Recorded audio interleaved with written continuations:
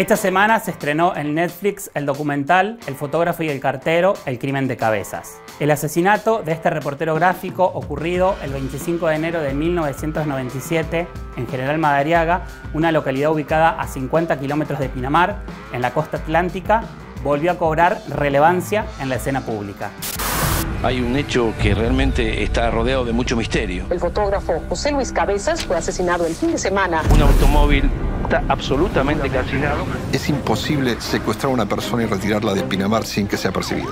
En cada cuadra había un político, en cada cuadra había un empresario.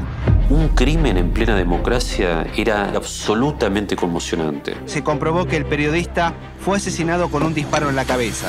Y para mí, o fue la policía bonaerense o fue Alfredo Chabrán era el empresario más importante de la Argentina de los 90. Todo lo que tenía que ver con Chabrán tenía que ver con secretos. Que el señor Chabrán lidera una mafia, se esconden, ni siquiera se conocen las fotos. Ese Menem tenía contacto con Chabrán. Y Chabrán es un empresario como cualquier otro.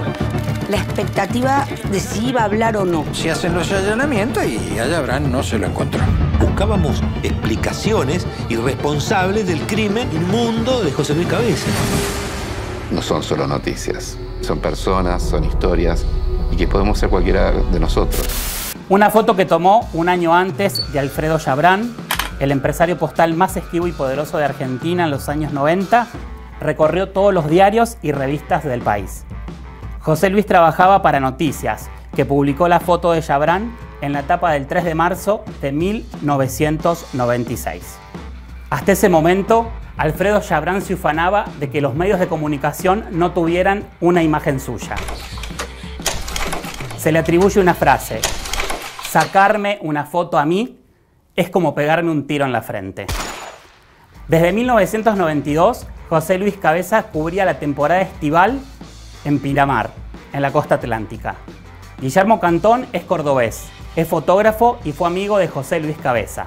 Lo cuenta de la siguiente manera. Bueno, José Luis cubría la, temporada en Pinamar como, como, se hacía habitualmente en esa época, que las editoriales eh, mandaban a los centros de turismo del verano, que eran Mar del Plata, Pinamar y Punta del Este, eh, equipos de, trabajo que consistían en, pareja, digamos, en un fotógrafo y un, y un periodista, un cronista.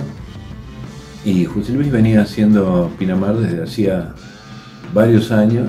Eh, incluso había conocido a Cristina, su mujer, en, Pinamar. Era 1996 y todavía no había una imagen del empresario postal investigado por presunta implicación en casos de corrupción.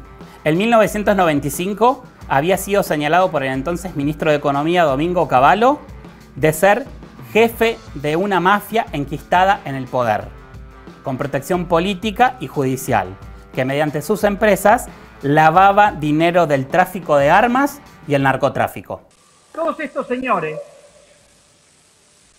no aparecen en los diarios, se dan el lujo de no dar la cara. No se conoce qué cara tienen, yo sí la conozco porque a mí me vinieron a ver.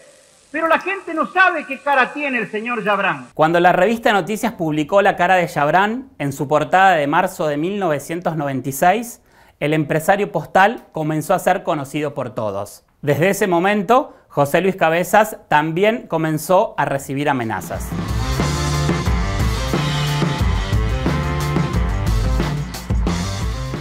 Me acuerdo que José Luis me contó durante el año, durante el 96, que, había recibido algunos llamados extraños que, hablaban con la mujer, que, pero no, entendía eh, a qué se refería, no, sabía de, dónde podía venir. Eh, nadie temía ni nadie se esperaba para nada una, cuestión así en relación con lo de, con lo de Jabram.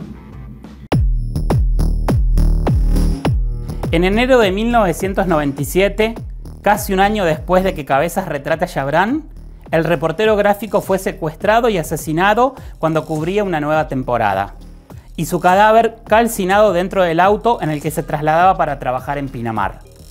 Su muerte se considera como el ataque más grave a la libertad de expresión en Argentina desde la vuelta de la democracia en 1983. Yo me enteré eh, del asesinato el, ese mismo 25. Me llamó Cristina desde la comisaría, me llamó contándome, llorando obviamente, eh, absolutamente conmocionada por lo que pasaba y eh, inmediatamente me comuniqué con, la revista, con Hugo y nos juntamos a ver para dónde arrancábamos, qué hacíamos. El desconcierto era, era total.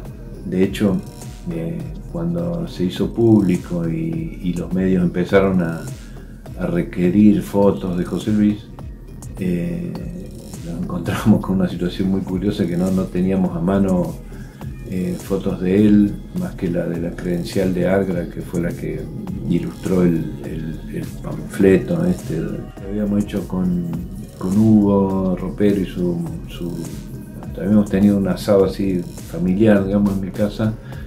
Y, nos habíamos hecho algunas fotos, entre ellos esa, esa donde estamos los tres, con Hugo y José Luis.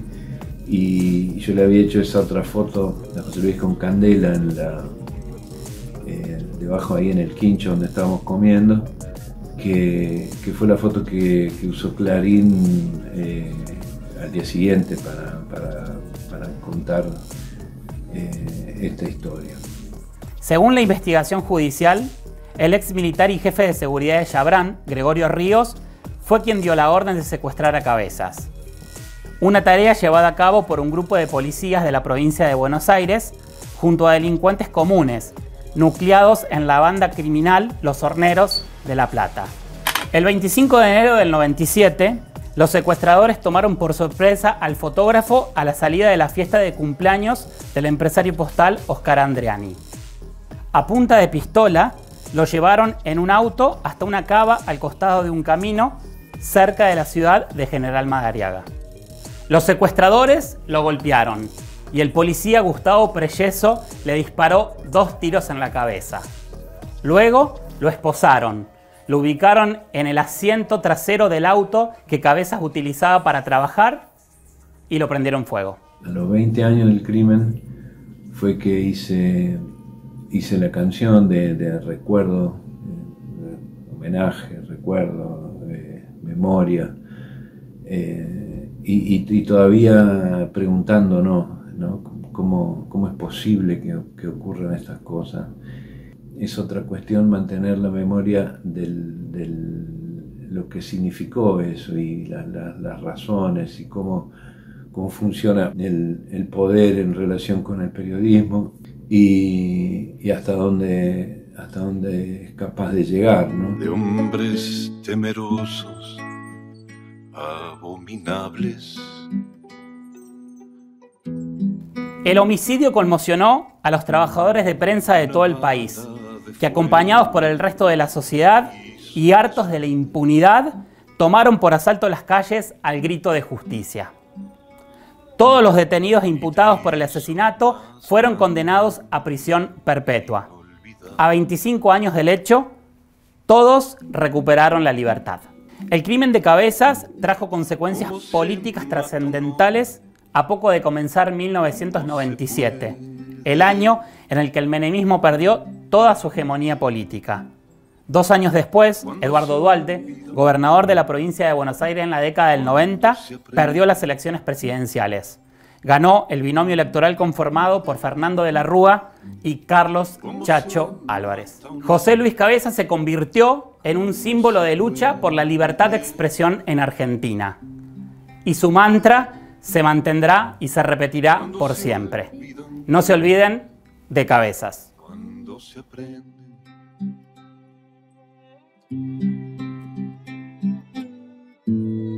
Una foto de ayer y